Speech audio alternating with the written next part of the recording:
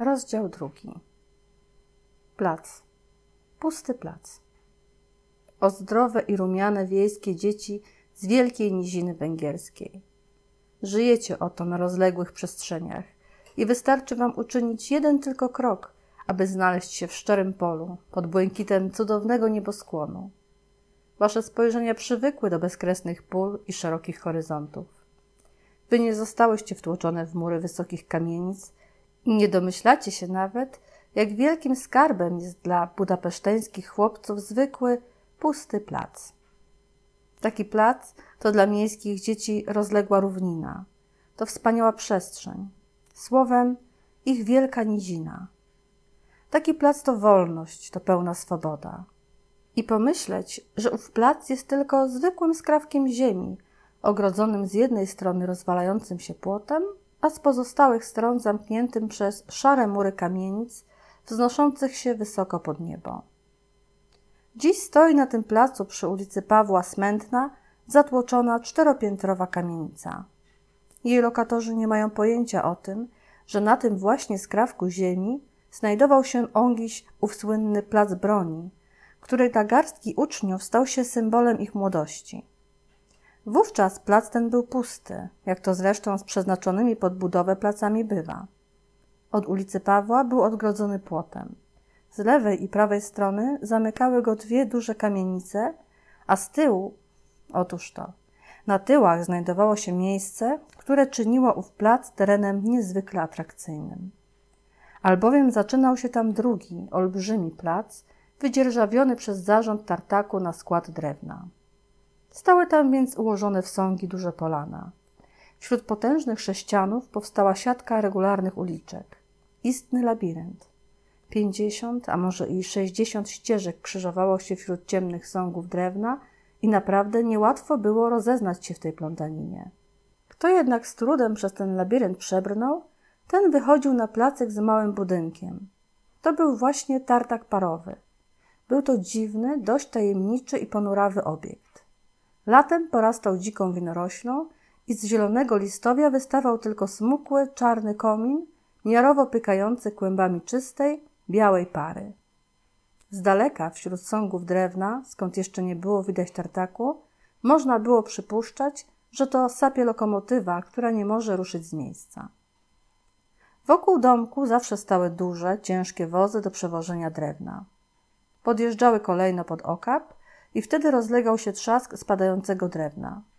Pod okapem znajdował się mały otwór, z którego wystawało spadziste koryto. Kiedy fura podjeżdżała pod ten otwór, korytem zaczynała płynąć struga porąbanych polan. Woźnica krzykiem dawał sygnał, że wóz pełny. Pykanie z komina ustawało z nagła, w domku robiło się cicho, woźnica zacinał konie i naładowany wóz ruszał z miejsca. Pod okap podjeżdżał następny, pusty, czekający na drewno wóz. Czarny komin znów zaczynał pykać i znów sypały się polana. I tak to trwało od lat. Drewno było ciągle uzupełniane, wielkie wozy przywoziły na plac coraz to nowe polana, które znowu cięła maszyna. Tak więc na placu nigdy nie brakowało sągów i nigdy też dłużej nie milkł świst parowej piły. Przed tartakiem rosło kilka karłowatych drzewek morwowych, a pod jednym z nich stała sklecona z desek budka. Tu właśnie mieszkał Słowak, który pilnował w nocy placu, żeby nikt nie kradł lub nie podpalił drewna. Czy można było znaleźć piękniejsze miejsce do zabaw? Dla nas, chłopców z miasta, było to coś wspaniałego. Nie potrafiliśmy wyobrazić sobie bardziej indyjskiego, piękniejszego i rozleglejszego placu, który by tak doskonale zastępował amerykańską prerię a położony na tyłach skład drzewa stawał się wszystkim tym, czego akurat potrzebowaliśmy. Bywał więc miasteczkiem na dzikim zachodzie, puszczą, górami skalistymi pełnymi kanionów, słowem tym, czym go w danej chwili mianowano. I nie myślcie, że był to wystawiony na ataki bezbronny plac. Przeciwnie, był to plac broni. Szczyty sągów chłopcy zamienili bowiem w fortece i twierdzę. O tym, które punkty trzeba umocnić, decydował Boka. Fortece natomiast budowali Czonakosz i Nemeczek. Znajdowały się one w czterech czy pięciu punktach. Każda z nich miała kapitana, porucznika i podporucznika. Oni stanowili armię. Niestety, ku ogólnemu zmartwieniu, był tylko jeden szeregowiec. Wszyscy zatem kapitanowie i oficerowie mogli rozkazywać, musztrować i karać aresztem za niesubordynację tylko jednego, jedynego szeregowca. Nie trzeba dodawać, że tym jednym, jedynym szeregowcem był mały, jasnowłosy Nemeczek. Kapitanowie, porucznicy i podporucznicy salutowali sobie z wielką swobodą, od niechcenia podnosząc rękę do czapki, choćby się i sto razy spotkali na placu w ciągu jednego popołudnia. Pozdrawiali się od tak sobie, mówiąc zwyczajnie cześć. Inaczej Nemeczek. Biedak co chwila musiał stawać na baczność i sztywno salutować. A kto tylko przechodził koło niego, natychmiast go strofował. Jak stoisz?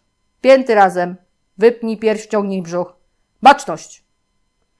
I Nemeczek podporządkowywał się wszystkim z radością. Bywają bowiem chłopcy, którym okazywanie posłuszeństwa sprawia przyjemność. Jednak większość chłopców lubi rozkazywać, jak zresztą większość ludzi.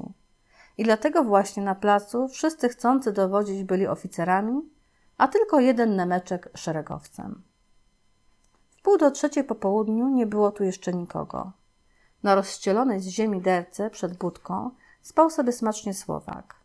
Zasypiał zawsze w dzień, bo nocą doglądał placu, pilnował drewna lub też właził do fortecy na jednym z sągów i stamtąd patrzył na księżyc.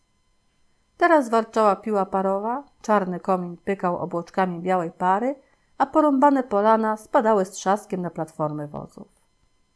Kilka minut po pół do trzeciej skrzypnęła furtka od ulicy Pawła i pojawił się Nemeczek. Wyciągnął z kieszeni dużą pajdę chleba, rozejrzał się i widząc, że nikogo jeszcze nie ma, zaczął rzuć skórkę. Przed tym jednak zamknął dokładnie furtkę. Jeden z najważniejszych punktów obowiązującego na placu regulaminu przewidywał, że każdy, kto wchodzi, winien starannie zamknąć za sobą furtkę. Kto tego obowiązku nie dopełnił, tego czekał areszt. A dyscyplina na placu obowiązywała surowa, jak w wojsku. Nemeczek usiadł na kamieniu, ogryzał ze skórki kromkę chleba i czekał na kolegów. Zanosiło się na to, że dzisiejsze spotkanie będzie bardzo ciekawe. W powietrzu wisiała zapowiedź ważnych wydarzeń. Co tu dużo mówić. Nemeczek w tym momencie poczuł się bardzo dumny z faktu, że i on również należy do słynnej paczki zwanej Związkiem Chłopców z Placu Broni. Jakiś czas jeszcze zajadał chleb, po czym z nudów ruszył w stronę tartaku. Przechadzał się wśród sągów, gdy nagle natknął się na wielkiego czarnego psa, należącego do stróża, Słowaka imieniem Jano. Hektor, zawołał przyjaźnie, ale pies nie wykazywał najmniejszej chęci, aby odwzajemnić powitanie. O tym, że spostrzegł chłopca, zasygnalizował tylko nieznacznym ruchem ogona. U psów oznacza to mniej więcej to samo, co u ludzi uchylenie w pośpiechu kapelusza. I pognał dalej, szczekając ze złością. Nemeczek ruszył za psem. Hektor zatrzymał się i zaczął ostro obszczekiwać jeden z sągów, na którym chłopcy zbudowali twierdzę. Na szczycie ułożyli z polan mur obronny i na cienkim patyku wywiesili małą, czerwono-zieloną chorągiewkę. Pies skakał wokół sągu i coraz gwałtowniej ujadał. Co się tam dzieje? zapytał Nemeczek psa. Był z nim bardzo zaprzyjaźniony, może dlatego, że Hektor także nie miał żadnego oficerskiego stopnia. Chłopiec spojrzał w górę. Nie dostrzegł nikogo, ale czuł, że na szczycie ktoś porusza się wśród polan. Zaczął więc wspinać się po wystających kłodach. Był już w połowie drogi, kiedy oto zupełnie wyraźnie usłyszał, że ktoś tam na górze przekłada deski i kłody. Serce zabiło Nemeczkowi mocniej i zawahał się, czy nie wrócić na ziemię. Ale kiedy spojrzał w dół i zobaczył Hektora, znowu nabrał odwagi. Nie bój się, Nemeczku, powiedział do siebie, nadal pnąc się do góry. Za każdym krokiem dodawał sobie otuchy tymi słowami. Nie bój się, Nemeczku, nie bój się. Wreszcie wdrapał się na sam szczyt. Raz jeszcze powtórzył nie bój się, Nemeczku i już, już chciał przełożyć nogę przez niską w tym miejscu zaporę obronną, gdy nagle przestraszony znieruchomiał. O Jezu! krzyknął i w popłochu zaczął zsuwać się w dół na łeb na szyję. Gdy dotknął ziemi, serce waliło mu jak młotem. Spojrzał w górę na szczyt twierdzy. Obok chorągiewki stał Ferry Acz, straszliwy Ferry Acz, ich zaciekły wróg, wódz chłopaków z ogrodu botanicznego. Prawą nogę postawił władczo na blankach twierdzy. Jego luźna, czerwona koszula łopotała na wietrze, a on szyderczo się uśmiechał. Ferry Acz odezwał się cicho. Nie bój się, Nemeczku. Ale Nemeczek już wtedy strasznie się bał i uciekał co sił. A czarny pies biegł za nim. Razem pędzili tak przez kręte ścieżki wśród sągów z powrotem na plac. A na skrzydłach wiatru goniło za nim szydercze wołanie Feriego Acza. Nie bój się, Nemeczku! Gdy Nemeczek już na placu obejrzał się za siebie, na szczycie twierdzy nie widać było czerwonej koszuli Feriego Acza, ale i chorągiewka zniknęła. Mała, czerwono-zielona chorągiewka uszyta przez siostrę Czelego. Acz przepadł gdzieś wśród sągów drzewa. Mógł wyjść drugą stroną przez tartak na ulicę Marii. Niewykluczone jednak, że skrył się gdzieś tutaj, razem ze swoimi kolegami, braćmi pastorami. Na myśl, że bracia pastorowie mogą się znajdować w pobliżu, Nemeczkowi przeszły ciarki po plecach. On już dobrze wiedział, co znaczy spotkać się z pastorami. Ale Feriego Acza po raz pierwszy zobaczył z bliska. Bardzo się go przestraszył, choć szczerze mówiąc, Ferry mu się podobał. Był dobrze zbudowanym, barczystym chłopcem o ciemnych włosach. Doskonale się prezentował w obszernej, czerwonej koszuli, która nadawała mu wojowniczy wygląd. Koszula ta była bardzo podobna do tych, jakie nosili żołnierze Garibaldiego.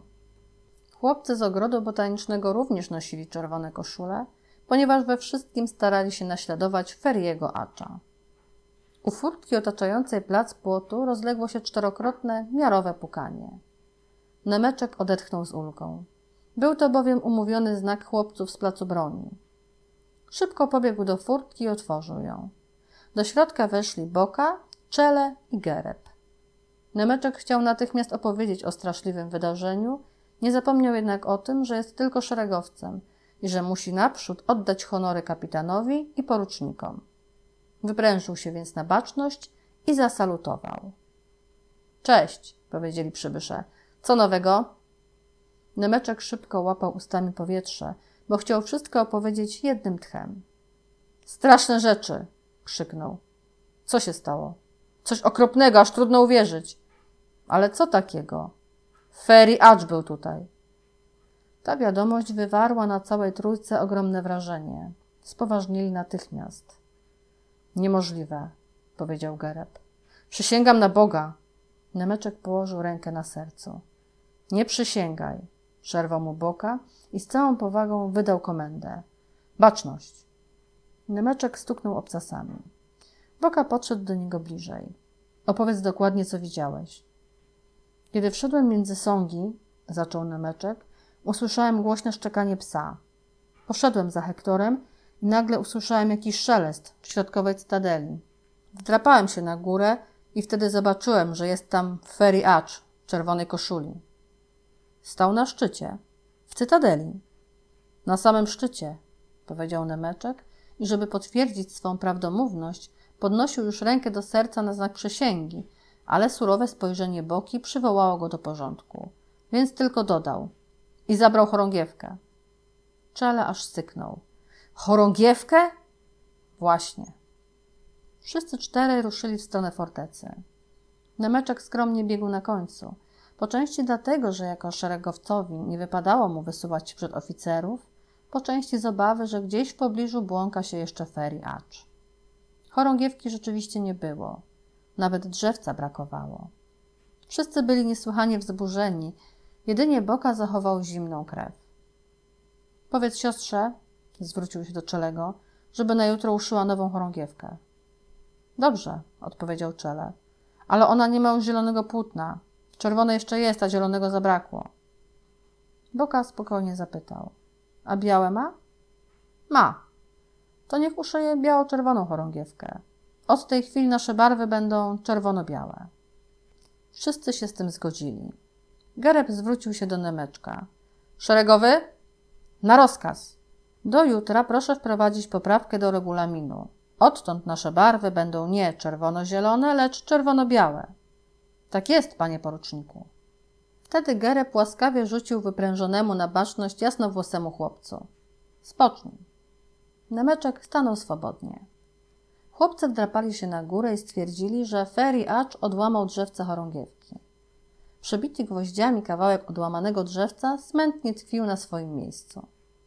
Od strony placu rozległy się okrzyki. Hola ho! Hola ho! To było ich hasło. Widocznie nadeszli już chłopcy i rozglądali się po placu. Słychać było donośne okrzyki Hola ho! Czele skinął na nemeczka. Szeregowy, na rozkaz. Odpowiedzcie kolegom. Tak jest, panie poruczniku. Nemeczek przyłożył zwiniętą w trąbkę dłoń do ust i swoim cienkim, dziecinnym głosem zawołał Hola ho! Potem zeszli z fortecy i ruszyli w stronę placu. Na środku placu, skupieni w małej grupce, czekali na nich Czonakosz, Weiss, Kende, Kolnaj i jeszcze kilku chłopców. Na widok Boki wszyscy stanęli na baczność. Boka bowiem był ich dowódcą, kapitanem. Cześć, powiedział Boka. Kolnaj wystąpił krok naprzód. Melduję posłusznie, powiedział. Kiedy przyszliśmy, furtka nie była zamknięta, a zgodnie z regulaminem powinna być zamknięta od środka.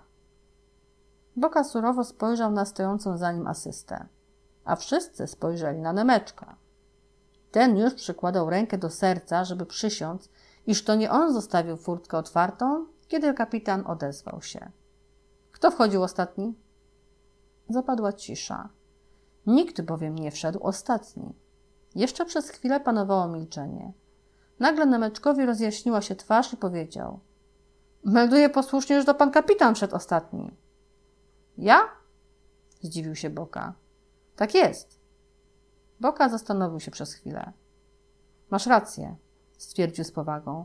Zapomniałem zasunąć zasuwę. Panie poruczniku, proszę wpisać za karę moje nazwisko do czarnej księgi. Zwrócił się do Gereba. Gereb wyjął z kieszeni mały, czarny notes i wielkimi literami wpisał Janosz Boka, a obok, żeby było wiadomo, o jakie przewinienie chodzi, dopisał furtka. Taka postawa dowódcy podobała się chłopcom. Boka wymierzył sprawiedliwość nawet samemu sobie. Był to przykład prawdziwego męstwa, o jakim nawet na lekcjach łaciny nie słyszeli, choć przecież wiele im mówiono o dzielnych Rzymianach. Lecz Boka był tylko zwykłym człowiekiem i miał też swoje słabości. Wprawdzie ukarał siebie, lecz zaraz zwrócił się do Kolnaja, który zameldował o tym, że furtka nie została zamknięta. A ty nie powinieneś tak paplać i skarżyć. Panie poruczniku, proszę wpisać Kolnaja za dąsicielstwo. Pan porucznik sięgnął więc znów po złowieszczy notes i wpisał Kolnaja. Stojący z tyłu Nemeczek z radości, że to nie jego nazwisko wpisują do notesu, zaczął tańczyć czardasza. Trzeba bowiem wiedzieć, że w notesie figurowało wyłącznie nazwisko Nemeczka, bo wszyscy zawsze i za wszystko kazali wpisywać Nemeczka. I zbierający się co sobota trybunał osądzał jedynie Nemeczka. Co tu dużo mówić? Tak to już było, bo Nemeczek był jedynym szeregowcem. Zakończono sprawy porządkowe i rozpoczęła się wielka narada. Po chwili wszyscy znali już sensacyjną wiadomość, że oto wódz czerwonych koszul, Ferry Acz, odważył się wtargnąć w samo serce placu broni, że wdrapał się na środkową cytadelę i zabrał chorągiew. Oburzenie chłopców nie miało granic.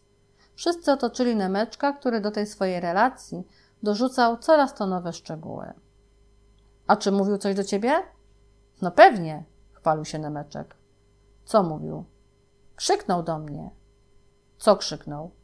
Zawołał: Nie boisz się, Nemeczku? Tu jasnowłosy chłopiec przełknął ślinę, bo wiedział przecież, że to nieprawda, że było całkiem inaczej. Bo z opowiadania wynikało, że Nemeczek jest niesłychanie odważny. Tak odważny, że Ferry acz aż się zdziwił i zapytał: Nie boisz się, Nemeczku? A coś ty mu odpowiedział? Nic. Stanąłem pod fortecą, a on zszedł na drugą stronę i zniknął. Uciekł. To nieprawda, krzyknął Gereb. Ferry Acz jeszcze przed nikim nie uciekał. Boka spojrzał na Gereba. Ejże, co ty go tak bronisz? powiedział. Wcale nie bronię, mówię tylko. Powiedział już nieco ciszej Gereb, że jest mało prawdopodobne, żeby Ferry Acz przestraszył się Nemeczka. Wszyscy roześmieli się. Rzeczywiście, to było mało prawdopodobne. Nemeczek, zbity z tropu, stał w środku grupy chłopców i wzruszał ramionami. Po chwili na środek wystąpił Boka. Słuchajcie, musimy coś zrobić, powiedział. Na dziś zresztą wyznaczyliśmy wybory. Wybierzemy przewodniczącego. I to takiego, który będzie miał nieograniczoną władzę i któremu wszyscy bez zastrzeżeń się podporządkują. Możliwe, że z powodu tej sprawy dojdzie do wojny i wtedy będziemy potrzebowali dowódcy, który ustali strategię jak na prawdziwej bitwie. Szeregowy wystąp, baczność. Przygotujcie tyle kartek, ilu nas jest. I niech każdy na swojej kartce napisze, kto ma być przewodniczącym. Potem wrzucimy kartki do czapki i kto dostanie najwięcej głosów, ten zostanie przewodniczącym. Niech żyje! krzyknęli wszyscy jednym głosem, a Czonakosz włożył dwa palce do ust i gwizdnął przenikliwie niczym parowóz. Zaczęto wyrywać z notesów kartki, Weiss wyjął swój ołówek. Dwóch chłopców zaczęło się sprzeczać, czyj kapelusz dostąpi zaszczytu urny wyborczej. Kolna i Barabasz, którzy zawsze mieli do siebie pretensje, omal się o to nie pobili. Kolnaj twierdził, że kapelusz Barnabasza nie nadaje się do tego celu, bo jest brudny. Kende natomiast uważał, że kapelusz Kolnaja jest jeszcze brudniejszy. Z tego sporu oczywiście natychmiast wyniknęło sprawozdanie stopnia zabrudzenia obu nakryć głowy. Małym scyzorykiem zaczęli zdrapywać brud, aby przekonać się, która warstwa grubsza. No i zagapili się, bo w tym czasie Czele oddał na społeczny cel swój mały czarny kapelusik. W takich sprawach elegant Czele był nie do pokonania. Nemeczek natomiast, ku zdumieniu wszystkich, zamiast rozdawać kartki, wykorzystał okazję, że przez chwilę skupiła się na nim cała uwaga i ściskając w zabrudzonej dłoni karteluszki, wystąpił krok naprzód. Stanął na baczność i odezwał się drżącym głosem. Melduję, panie kapitanie, że tak dłużej nie może być, żebym tylko ja był tu szeregowcem. Od czasu, jak założyliśmy nasz związek, wszyscy już awansowali i są oficerami, a tylko ja jeden ciągle jestem szeregowcem i wszyscy mi rozkazują. I wszystko tylko ja muszę robić. I. I. Nemeczek tak się wzruszył swoją niedolą, że po twarzy zaczęły mu spływać grube łzy. Trzeba go wykluczyć ze związku. Chłodno zaproponował czele. Beczy, powiedział ktoś inny. Wszyscy wybuchnęli śmiechem. To rozżaliło Nemeczka do reszty. Uczuł ukłucie w sercu, zaszlochał i głośno łkając wyjąkał. Zobaczcie w, w czarnej księdze! Tam też tylko ja zawsze, tylko ja jestem wpisywany, jak ten pies. Boka przerwał mu spokojnym głosem. Jeśli natychmiast nie przestaniesz płakać, nie będziesz mógł więcej tutaj przychodzić. Nie zadajemy się z beksami. Słowo beksa wywarło wrażenie. Mały, biedny Nemeczek okropnie się przestraszył. Powoli opanował szloch. Wtedy kapitan położył mu rękę na ramieniu. Jeśli będziesz się dobrze sprawował i odpowiednio zasłużysz, to jeszcze w maju awansujesz na oficera. Na razie jednak pozostaniesz szeregowcem. Chłopcy zgodzili się z takim postawieniem sprawy, bo gdyby Nemeczek już w dzisiejszym dniu stał się oficerem, to wszystko straciłoby sens. Po prostu nie byłoby komu rozkazywać. Ciszę przerwał ostry głos Gereba. Szeregowy, zatemperujcie ołówek. Szeregowemu wciśnięto w garść ołówek, który ułamał się w kieszeni Weissa, ponieważ nosił on w kieszeni również kulki. Szeregowiec nie protestował więcej i z załzawionymi oczyma, pochlipując jeszcze trochę, jak to po wielkim płaczu bywa, całą przepełniającą serce gorycz skupił na zaostrzeniu ołówka hardmuta numer dwa. Go, gotowe, panie poruczniku, zameldował. Oddał zatemperowany ołówek i głęboko westchnął. Zrozumiał, że na razie musi zrezygnować z awansu na oficera. Rozdano karteczki. Wszyscy rozeszli się i każdy na osobności wypełniał kartki, bo była to bardzo ważna sprawa. Potem szeregowy zbierał je i wrzucał do kapelusza czelego. Kiedy Nemeczek obchodził wszystkich z kapeluszem w ręku, Barabasz trącił w bok Kolnaja. Patrz, jego kapelusz też jest brudny. Kolnaj przyjrzał się dobrze kapeluszowi czelego i obaj doszli do wniosku, że nie mają się czego wstydzić. Jeżeli bowiem nawet kapelusz czelego jest brudny, to już niczemu nie należy się dziwić. Boka zaczął odczytywać nazwiska na zebranych kartkach, po czym podawał je stojącemu koło niego Gerebowi. W sumie było czternaście kartek. Czytał je kolejno. Janosz Boka, Janosz Boka, Janosz Boka. Jeden raz pojawiło się inne nazwisko. Deżo Gereb. Chłopcy spojrzeli po sobie. Domyślili się, że była to kartka Boki, który z grzeczności oddał głos na Gereba. Potem znów były kartki z nazwiskiem Boki i znów głos oddany na Gereba. I na zakończenie jeszcze jedna kartka Deżo Gereb. Boka dostał w sumie 11 głosów, Gereb 3. Gereb uśmiechał się z zakłopotaniem. Po raz pierwszy zdarzyło się, że otwarcie rywalizował z Boką o przywództwo. Był zadowolony z uzyskanych trzech głosów. Natomiast Boce spośród tych trzech głosów dwa sprawiły przykrość. Zastanawiał się, którzy z chłopców na niego nie głosowali, ale już po chwili pogodził się z tym faktem. A więc wybraliście mi na przewodniczącego. Chłopcy zaczęli wiwatować, a Czonakosz znów gwizdnął.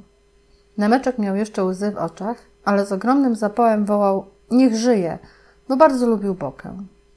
Przewodniczący poprosił o spokój. Dziękuję wam, koledzy, powiedział. A teraz natychmiast weźmy się do dzieła. Myślę, że wszyscy zdajemy sobie sprawę z tego, że czerwone koszule chcą nam odebrać plac i twierdzę.